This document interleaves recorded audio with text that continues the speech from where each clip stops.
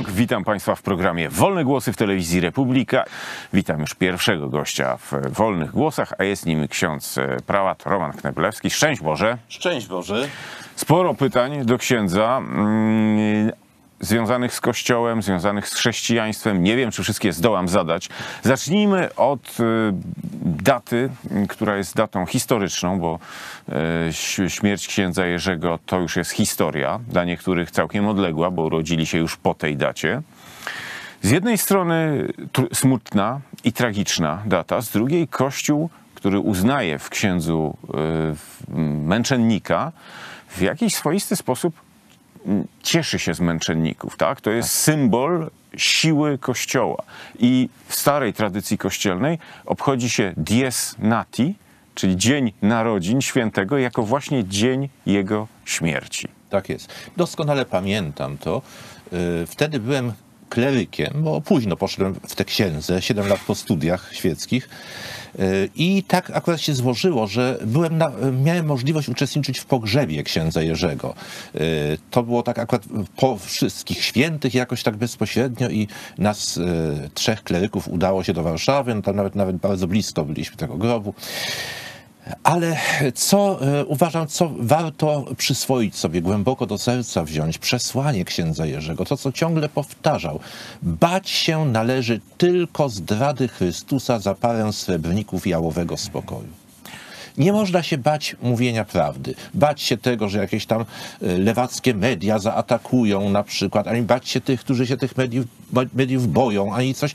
Po prostu prawdę należy głosić odważnie. No i drugie, nie dać się zwyciężyć złu. To jest oczywiście ze świętego Pawła, lecz zło dobrem zwycięża. To już jest niezwykle trudne, Tak. bo często, no, jak przeciwstawić się złu, złu fizycznemu, tak? Podchodzi ktoś i mówiąc brutalnie, wali w, w twarz, tak? A to, jak to, nie tu znaczy, się że, to nie znaczy, że się nie Dobrem, bronić. To tak? nie znaczy, że się nie bronić. Ja tak? ro- y, Oczywiście. doskonale to rozumiem, natomiast dostrzegam też dużą trudność, tak, żeby nasza obrona fizyczna, która no, też się na przemocy obraca, nie weszła nam w krew, żebyśmy tego nie polubili, tej, tak. tej przemocy. Znaczy, z- y, dać się zwyciężyć y, Dalibyśmy się zwyciężyć złu, gdybyśmy sami źle postępowali, ulegali tej, tym postawom, prawda? To nie znaczy, że y, wola obrony musi być. Mamy się obowiązek nawet bronić, a, a już tym bardziej bronić naszych bliskich, Tych, czy bronić się innych, sami bronić na przykład tak, nie są w oczywiście. stanie. Oczywiście, jak najbardziej. Na przykład bronić y, dzieci poczętych, a nie narodzonych, tak? I to jest nasz obowiązek. A no właśnie, w, ostatnio, s-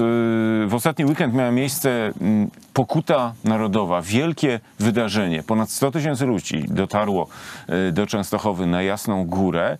W no, takim Wspaniała wielkim sprawa, tak. geście no, swoistego przebłagania za grzechy, między innymi te, o których ksiądz prałat Tak, tutaj tak, wspominał. tak, tak, tak. Te, które zaciągamy na siebie e, poprzez konformizm, poprzez poddanie się e, jakiemuś naciskowi tych mediów. Ilekroć patrzę na te tłumy rozmodlonych ludzi pod e, Jasną Górą, zastanawiam się, parafrazując wypowiedź złośliwą Stalina, ile dywizji ma papież, tak? Jaką siłę mają w tym dzisiejszym świecie, w XXI wieku ci modlący się ludzie? To jest przeo- przeogromna, potężna siła po prostu, chociaż y, niedostrzegalna jakoś tam zmysłowo, prawda? My tego nie widzimy, ale, ale to jest w wymiarze duchowym, to jest potężna, potężna broń, prawda? Tu się toczy wojna po prostu. I ci wszyscy ludzie, którzy tam na Jasnej Górze uczestniczyli w modlitwie przebłagalnej za grzechy narodu, po prostu podjęli wyzwanie i, to, i toczyli wojnę. Ale wojnę sprawiedliwą właśnie, wojnę o dobro naszego narodu. I tu jestem pełen optymizmu, mam taką wielką nadzieję, że dzięki właśnie takim postawom, dzięki podejmowanej pokucie, dzięki uznaniu naszego Pana Jezusa Chrystusa naszym królem i panem, takie bezwarunkowo, we w każdej dziedzinie, również w wymiarze politycznym, że dzięki temu wszystkiemu y, rzeczywiście spełnią się obietnice, które dane nam są naszemu narodowi warunkowo, i odrodzi się wielka Polska wspaniała jeszcze. Proszę księdza, przy ostatniej wizycie w telewizji Republika Tak. pojawiło się pojęcie nowej ewangelizacji, ale nie A tak. starczyło już czasu, żeby Tak. to pojęcie Ja- rozwinąć. ja po- Nawiązałbym do tego pojęcia i od razu zadał pytanie w związku z, z narodową pokutą. Czy tego rodzaju działania mieszczą się w szeroko rozumianej nowej ewangelizacji? No nie, to nie jest nowa ewangelizacja, to jest jak najbardziej y, po, y, stara bardzo praktyka.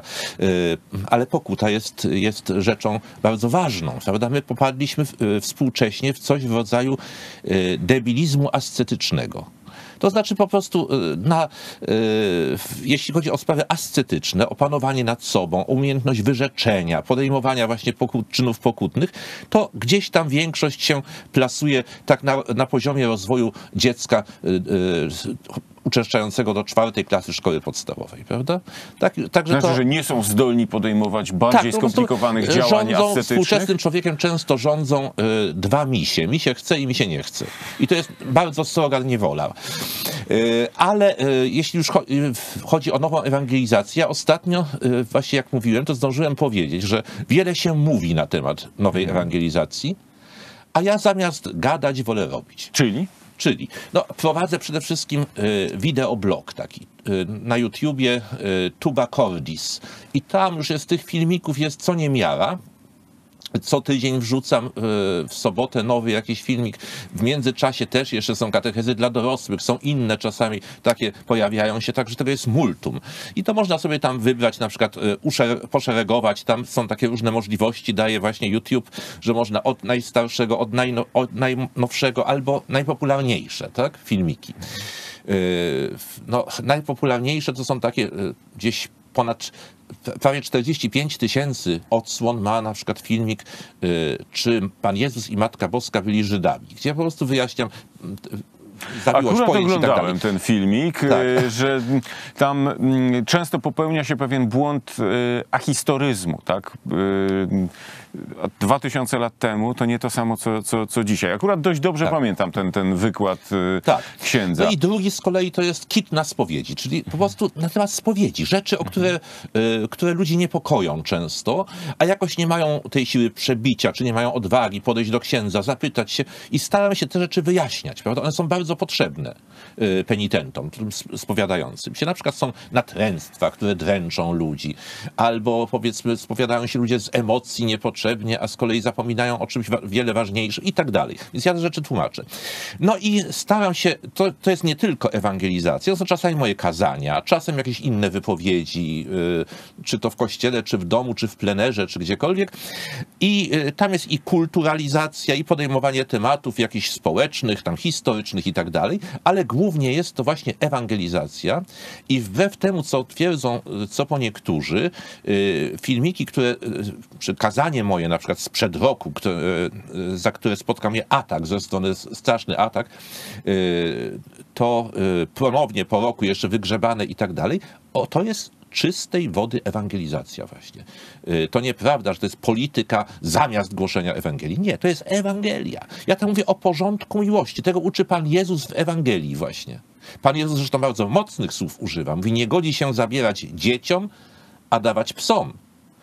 To dopiero był ośrodek do y, monitorowania zachowań ksenofobicznych i rasistowskich. Tam miał, miał co do roboty, jakby, tego, jakby Pan Jezus tak powiedział dzisiaj, prawda? No, wiele fragmentów Ale Pisma jest- Świętego tak, porządek nawet się miłości. sugeruje, że należałoby je przeredagować, tak, tak, bo tak, nie tak, dostają tak, tak. do naszych czasów. Tak twierdzą lewicowe mm, ośrodki. No i potem Ale te filmiki też- Proszę też- księdza, tak. bo słucham księdza i Tak. powiem, że sporo y, księdza wypowiedzi na YouTubie y, oglądałem, słuchałem bardzo uważnie, ale czy to nie Miło jest mi. tak, że one trafiają do osób już i tak przekonanych?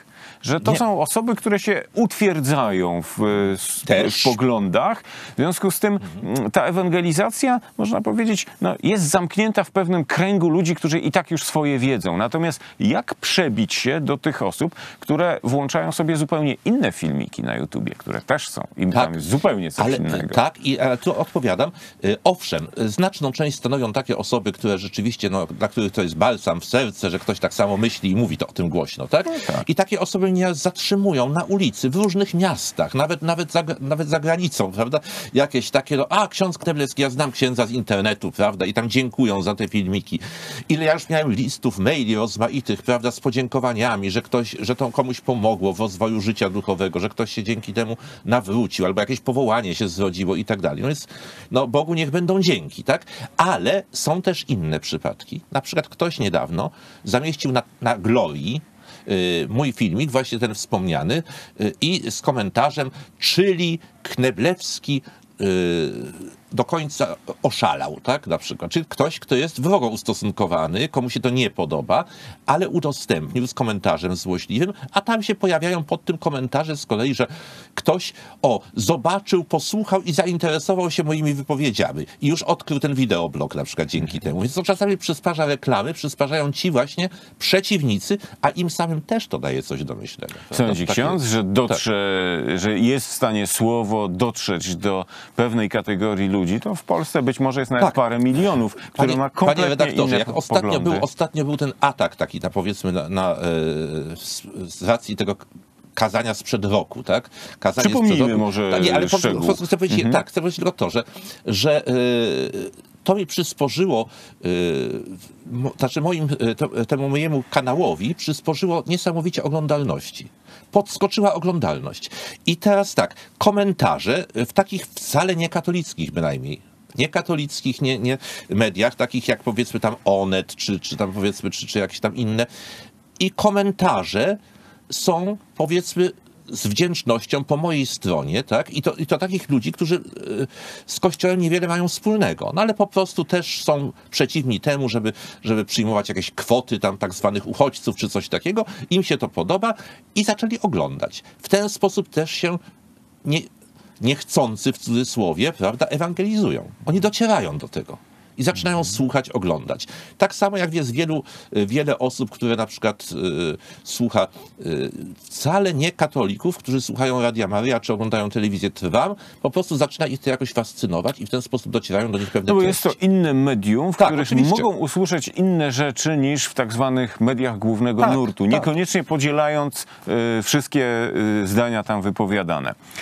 Y, Rozumiem zatem, że nowa ewangelizacja to są także nowe technologie, to jest internet. Jak najbardziej. To jest, y, To, po prostu to, jest tak, to jest takie narzędzie, którego nie, nie wolno po prostu zaprzepaścić, uważam, tak? Więc to jest ten właśnie wideoblog, następnie Facebook, który jest niestety e, lewackim systemem totalitarnym. To, to przecież ja jestem częściej blokowany, banowany na tym Facebooku niż nie, tak? Ostatnio. I to działa na zasadzie przedziwnej po prostu. Czasami nie wiadomo w ogóle o co chodzi nawet. Ale, a z kolei tam Che Guevara nikomu nie przeszkadza, Tak, czy jakieś bluźniercze treści. Tak, no właśnie, no tak jest.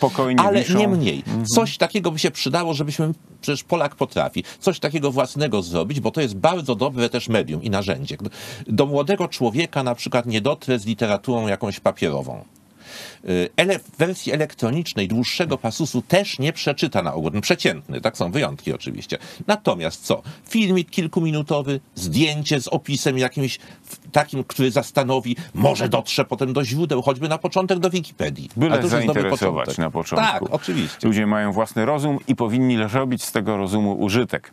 Bardzo dziękuję księdzu za Dziękuję wizytę w również. telewizji Republika. Ksiądz e, mm, prałat e, Roman Kneblewski był naszym gościem, a za chwilę już w telewizji Republika.